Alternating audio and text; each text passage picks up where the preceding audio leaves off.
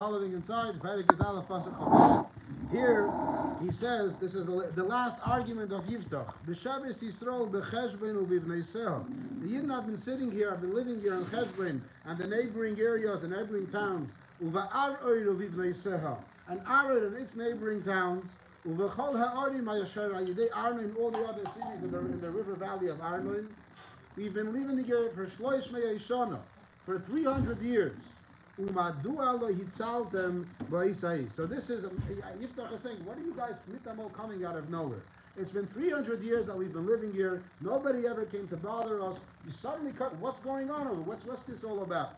So this kind of, the Palestinians can say that from day one, they've been making Eretz Yisrael. They have never agreed that Eretz Yisrael should exist. They always, from day one, have been trying to fight us, and all the other countries around us, e- e- Egypt and Jordan, Lebanon, Syria, and further away, Saudi Arabia and, and Iraq, all those, Iran, all those countries have always had the same thing. So that's the only time they could say we never agreed to it. But the first three times apply.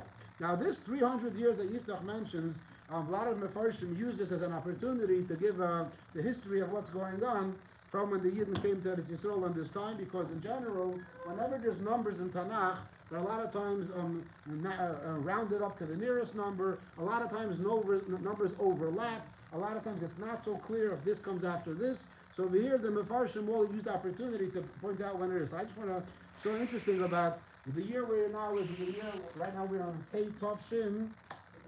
Pei Dalit. The story of Yiftach is almost exactly 3,000 years ago. Almost to, almost to the year.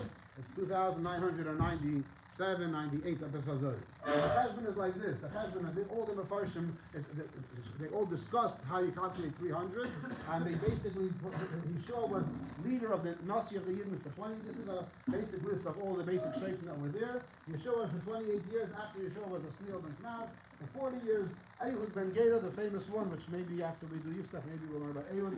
That's a fun story for a lot of people. Uh, he was for 80 years, then it was Shamgar ben Anos. It doesn't mention how long he was. That's officially not time to hear for itself. Devaira together with Barak for 40 years. Then seven years of Midian, meaning this is a machlekes amongst the Mefarshim, because in all these people it says how many years the neighboring country was making them tzaras, whether it was Moav or Midian or, or Amin or whatever it might have been. And, and it, it's always just, it's, it's hard to know if those years are separate or included. So Rashi's way of learning it is, that the seven years of Midian, there was no official leader amongst the Yidden, and then afterwards Yidden took over for 40 years, the son of Imelech, whatever, however good or bad he was, he was for three years, then there was a guy, Toila, for 23 years, Yoir for 22 years, and then for 18 years, there's no official leader amongst the Yidden, and that's when Yiftach comes in. And only after Yiftach comes, He's only after Yisro. So, but from here to here, as if you calculate the numbers, it equals to 300. We're not going to do the math right now. You can do it yourself. So the 300 years was when Yeshua began. What year did Moshe Rabbeinu conquer Eber HaYarden, which is when they, when they came out of, out of the Midbar? It was, what year was that? 248. 2488. Right? Because Matan Torah was 2448. They were in the Midbar for 40 years. So 24, 2448 plus 40 is 2488. How would you say that in, in Lashon Kodesh and ICAs? 2488 would be Beis, huh? Beis Alofim, Tov, Pei, Ches. Beis, Tov, Pei, Ches. If you add 300 to Beis, Tov, Pei, Ches, it ends up being Tov, Shin, Pei, Ches. So it's tough, right now we're Tavshin Pei. So it's basically four years, and four years from now we're going to celebrate the 3,000 year anniversary of the Battle of Yiftach. So it's uh, almost to the numbers. It could be slightly off. Some version calculate slightly differently. So like I said, it's 2996, 97, 98. There's different ways of saying it, but it's almost exactly 3,000 years ago. The Holy that's an interesting thing to know about what ended up happening. Now, Pasuk Chavzayin Yiftach finalizes after all these kindness, after all these proofs, he now finishes off by saying, I didn't do anything to you. We've been living here comfortably, quietly, calmly for the past 300 years. He says it about himself, I, because already at this point, Yiftach has the backing of Klal Yisrael. He is their leader, as we spoke earlier, all the negotiations he had with the Skanim, that they gave him the, the, the opportunity to be the Kotzin and the Rosh.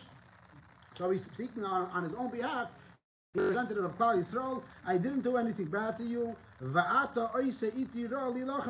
You're being, you're, you're starting up with me. It's, it's, it's wrong. You have no reason to start up with me. It's bad. It's wrong of you. And he concludes, Yishpeit Hashem Hashayfet Hayoim bein bnei Yisrael ubein bnei Amin. Hashem should judge between us. Hashem knows that you are the wrong. I'm in the right, and therefore Hashem will definitely stick up for those that are right. And this is my uh, my message to you.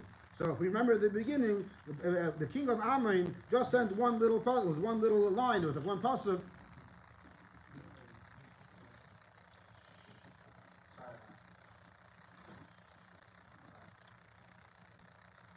There was only one pasuk. It was a few words of a complaint where he basically said, "This is my land." And Yiftach goes on and on with four tinus, with details, his history, proving everything. And here we said this, this, this is like similar to what the Palestinians they just chanting, chanting, chanting. They're not saying anything that makes sense. Lahavdil, the Yidden are responding with the history, with international law, with from uh, from all perspectives how we have the right to Eretz Yisrael, v'chulu, v'chulu. And over here also the same response they expect from these Palestinians, these Arabs, Yimach Shemam, Pasuk.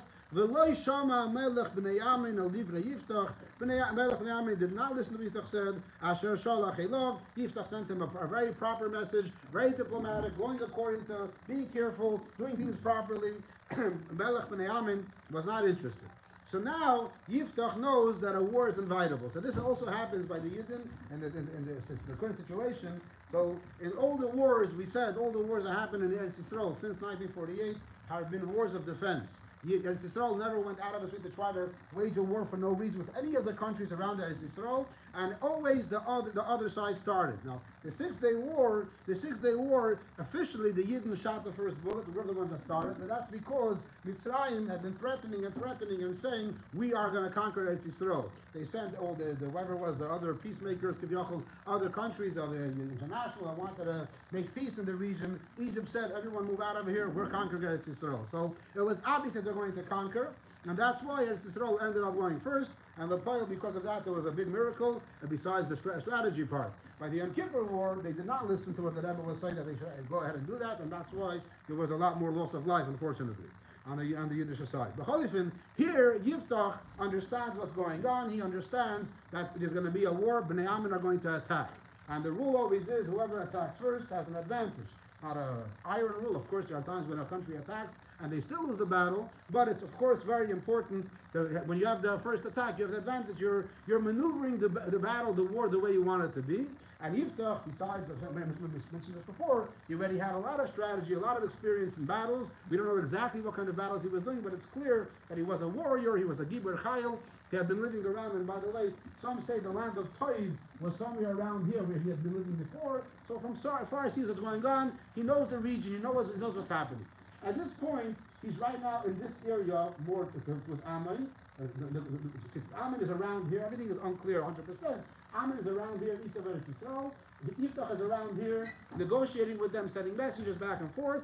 And now, Yiftach decides, okay, I have to, I, I have to start. I'm going to wait for him. It's going to be a tragedy. So that's going to be a, loss of life to the Yidden. So therefore, Vatehi al Yiftach Ruach Hashem. This is important words that a spirit of Hashem descended upon Yiftach, which means he had godly encouragement right now. He felt so. It's not like we have by Shimshon. We said it a few times. He had this kind of special adrenaline, of adrenaline, which gave him that that supernatural powers. We don't see the same thing by Yiftach. He didn't suddenly become a Superman, but Yiftach had something special, godly, and that guided him in the right direction to go and wage the battle the right kind of way. So the pasuk says, "Vayaver es Agilo ves Menashe." What he did was, he strategically he went towards the Gilad and Menashe, this area, and from there, Vayaver es Mitzpeh Gilad. Somewhere around here, there's a city called Mitzpeh or an area called Mitzpeh Gilad. We said Mitzpeh is an overlook. You go to the highways, and you always have a, a scenic overlook and different places where you can oversee a lot of the valleys, mountains, whatever it may be. So there's an area called Mitzpeh Gilad. Umi mitzpeh gilad avar bnei Ammon. And he ended up coming from behind the bnei Ammon. And he went not, he didn't approach their soldiers, he rather approached their cities, which were less fortified, because it's understood that all the soldiers were more in this direction, expecting Yiftach to come from here. They were trying to charge the for Eretz Yisrael. So Yiftach smartly went around them and ambushed them from behind. And this way, he was uh, obviously uh, al pitava, that was the explanation, but the main reason for this tremendous victory was the fact that Ruach Hashem. And now comes the famous, famous, tragic story everybody knows about Yiftach. Whoever doesn't know, pay attention. It's uh, one of the biggest stories of the whole. Of, whenever people talk about Yiftach, they focus on the following story. Till now, we spoke a lot of things about Yiftach, but uh, it's- it's- most people don't focus upon that. We're going to focus now on, the, the, on this, the main story. And that is as follows. Vayidar Yiftach neder laHashem vayomer. Yiftach makes a neder to Hashem before he goes out to battle. And this happens a lot of times when a person is trying to go into something and he knows that he's in a bad place. He wants to make a special achlata teva from Hashem, a special promise to Hashem that I'm gonna, uh, that Hashem, you help me, I'm gonna help you. So it's uh, here Yiftach makes this neder, and remember Yiftach is coming from a background that he's not such a big. Uh, uh, Rebbe, as we would say, right? He was coming from a background as he was a Ben Ish he was chased away, he was a Gibber Chayil, and now he's suddenly uh, the leader of Klal Yisrael, and he's their warrior, and he's their guaranteed to be the Reish, their Kotzin, basically their Shefet. So he has the Ruach Hashem upon him, but he, he really is in a way very grateful to Hashem, but he wants to make it even stronger. Some of the say that he was looking forward to a tremendous miracle and to have a Yom Tov afterwards also. So he wanted to make it something very, very special, very exciting, and therefore he tells Hashem, Vayimar, he tells Hashem, I'm neder, if you do this for me, and I'm coming now from this like a this uh, out, this outcast, from the lowest lowest of the low, terrible lineage, terrible yichas that I have, and being thrown out of Klal Yisrael and all the way for all this time. You're gonna not. You already made me so so successful now. I already have this position now. But of course, if I lose this battle, then what, what, what did I gain from all this? Well, a few moments of, of, of, of glory. But if Hashem, if you make me make me win this battle, that means I'm really going from the lowest of the low to the top of the top. So Hashem, this is amazing. So if you make me do this, if you, if you make me successful in this battle, I, I, I, I can't. It's the best and the best of the best. Then he says, I pre- I'm promising you the following. "V'hoya yoytze asher yetze midal seivesi likrosi, v'shuvi v'sholim b'nei b'nei amen, v'hoya la'Hashem v'halisiu oilach." So he says, I'm going to come home. Now Yiftach, Yiftach had, uh, it doesn't say how wealthy he was, but it's understood that he was, especially now that he made him in charge. He obviously had, had wealth, and those times wealth always equaled agriculture, which means a lot of animals, a lot of sheep, a lot of goats, a lot of cows. He had a lot of those stuff. So he says, Hashem, I'm going to come home. The first animal that comes out, the first thing that comes out of my house, I'm going to bring it as a korban to Hashem and thank you for what you did to me. So I'm going to bring a korban, and this is like Hashem, I'm doing it 100% the best possible way. Just let me make me win this battle, and I'll bring you korbanos, and we'll make afterwards, and we'll make Yom Yom Tevin. So he's all Hashem, I'm all yours. I'm giving whatever I have. It's all for you. It could be also. There's a famous story. And, and, and it's a, a vort. It's the story of Yaakov Avinu when Yaakov meets Yosef for the first time after the 22 years that he didn't see him.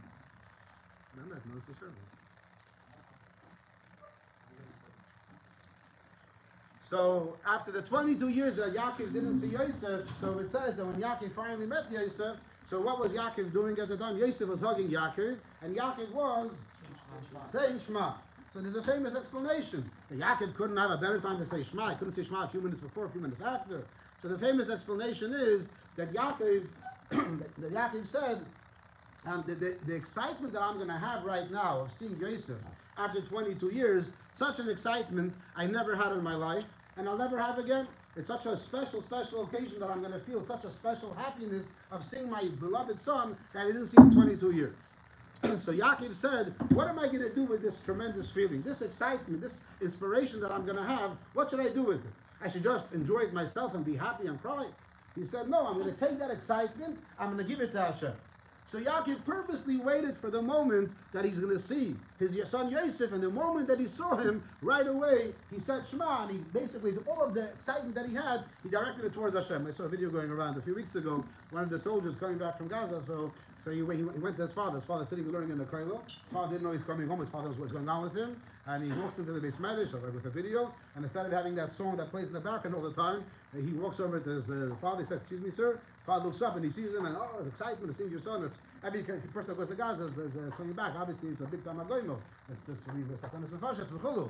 So the father gets up with a big uh, excitement. Obviously, he hugs his son, and then after a few moments, he says, "Shema Yisrael Hashem Elokeinu Hashem Echad." So th- that father is a Talmud Chacham, obviously. So he's not Yaakov Avinu. He's not on that level, but it's obvious that he's trying to copy that word. Like the excitement it took him a few moments till he re- remembered, but he gave it to Hashem also. So it's very possible Yiftach has the same idea. Hashem, I'm going to come back. I'm going to be on the high, the highest high that I ever had in my life. So spiritual, so exciting. Hashem, I'm going to take this excitement, bring a korban for you, and put that off to Hashem. It's to be all part of my excitement. I'm giving it all for you. It's all for you for Hashem. Then Pasuk Lamed Beis tells us, indeed,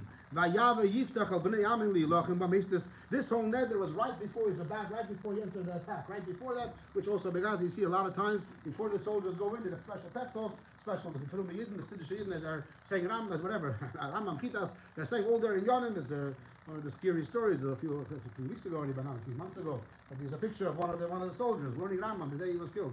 And that the day he was learning Rambam still with the Chayin or Ramalchus, whatever, and that, that day he was killed. A different guy was killed. A few, a few pictures like that. Well, Mr. Yiftach is about to enter the actual battle, which is going to be now, which is his first official battle in the capacity of the general, the leader, and he makes a special neder, and he's all pumped up, and indeed he goes into Bnei Yamin, Hashem biyodei. Hashem gives him his hand, and it's a complete victory. It doesn't say details, but the pasuk meaning uh, casualties on both sides. But the pasuk says, "Vayakem me aroyer va'ad bayachem minis esrim ir." So these are names of cities in this area of Ammon. Aroyer Bayach means until minis. 20 cities. He conquered 20 cities, village and town after town. Va'ad Avil Kromim, till the place called Avil Kromim, which, was, and it was a Makkah Gdoila Ma'oi. A tremendous victory, a tremendous conquest. It doesn't say how many people of Amin were killed. It doesn't say if any Yidden were killed. The assumption is no Yidden were killed. There must have been miraculous, a tremendous victory. And b'nei Amin were knocked down. They understood that we got it wrong. That they, they basically don't mess with the Jews. Yiftach, as he said, is on the highest high. He has this battle. He's coming from the lowest of the low. He's so excited. He made this neder to Hashem and pasuk lamedalet. Yova Yiftach HaMitzpah Beisa. Yiftach is finally coming after this battle. So excited, coming back to the mitzvah. His, his house is more in this area. He's coming back home and he remembers his neder. I'm going to bring the korban to Hashem. Now, whatever comes out of my house, the first thing, korban to Hashem. His daughter walks out of his house. His supim. She also knows her father's background. She also knows what her father went through. She knows that her father, she grew up with her father before. She knows her, her father was an outcast. She knows all of her uncles hate her father. She knows that her grandparents are always looking down on her father. She was chased away. And now her father was brought back, and he becomes the nus, and he's the big knocker, and he wins the battle. She's so excited. She comes out running. The subi moving chayla. She's have the tambourines, and she's dancing, all excited. And the pasuk tells us, "V'rak hi ein mimenu bein levas." She was his only daughter. He didn't have any other children. She was single. She was never married. And he sees her. He sees her daughter coming out, and it's the biggest crash from the highest to high to the lowest low. He rips his clothing. Everyone's with him. All these people around him, like you know, it's exciting. Let's go dance and everything. Mitamol, he's crying, ripping his clothing. He calls out to his daughter. Aha viti, oh my goodness, my my daughter, what'd you do to me? You have just made me fall so low. You have just, you just destroyed everything. I, I was so, I was, I was, everything was perfect. Everything was going the best possible it can go. My, my, life couldn't have been better. And now it couldn't have been worse than it is right now. Couldn't have gotten worse than the situation the way it is now. It's, this is, you, you knock me down. I, he says, and it's not Sam. you're the one that's messing me up. You're the one, you're doing this terrible thing to me. Of course, you didn't mean to, but that's what he's saying.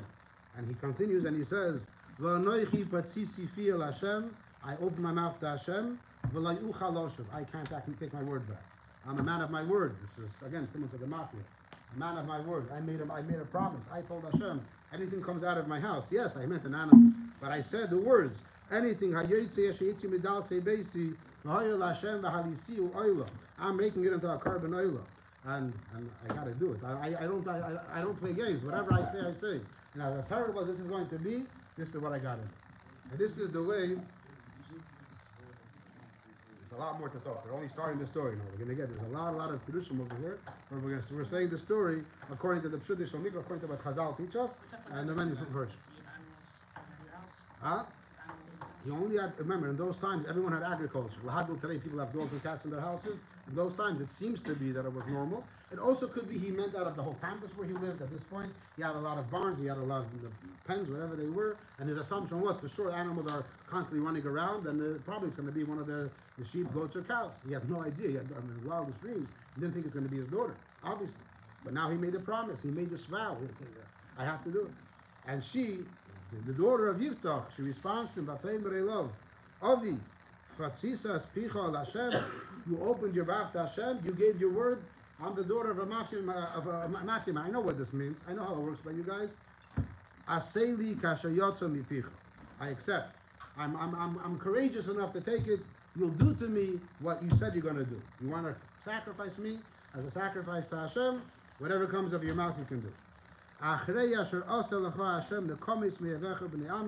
Hashem did all these miracles for you. Hashem made this tremendous victory over Bnei Amen, and Hashem obviously wants me to be the korban because he made the neder, and Hashem orchestrated events. I should come out. It must be this is what Hashem wants. I'm accepting it. However, she says. She tells her father. Please, I only have one request before you go ahead and bring me as a korban. Give me two months. Ve'elcha ve'yoradeti al harim ve'efka al psulai anoichi v'reyosef. I want to go to the mountains. Now, I want to go to the mountains. I want to just go to places to seclude myself with nature for a bit. I want to cry about myself, about this terrible tragedy that's going to happen. Psulai means the fact that I'm never going to get married and have children because I'm going to be killed right now. I want to go with my friends and we'll inspire each other and give each other chizuk, even though I'm going through such a rough time now. But give me two months and then you'll do what you, you said you're going to do. And indeed, Vayomer Lechi, he told her, You can go. She went for two months. She and her friends went. She cried with her friends in the mountains. And then, two months later, she returns to her father. He, fulfilled the vow that he had vowed. Now, the pasuk continues a few more words. She had never got married, and this was and it was a chayk amongst the Yidden.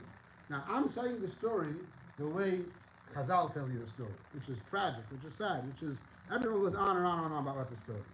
However, there's another way of learning the story, which many of them the Farshim explain. And so, first of all, there's a lot what to talk about in this way. There's so much questions and then discussion. And then there's the other way of learning it, which also has questions and discussion, but a lot less.